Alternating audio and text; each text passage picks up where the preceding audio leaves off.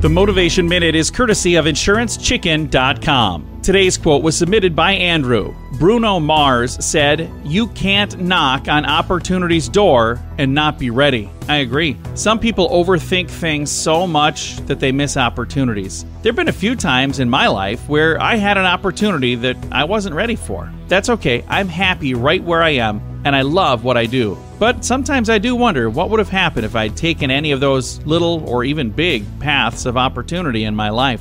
I'll never know, and neither will you. Just keep this in mind. When your opportunity knocks, be ready to answer. If you know where you want to go and you know what you want to do, make decisions based on if it brings you closer to that goal or further from it. This has been today's Motivation Minute, courtesy of InsuranceChicken.com. They're known for insurance quotes. I'm John Small. Thanks for listening. Your favorite motivational quotes can be submitted for upcoming programs at motivationminute.org.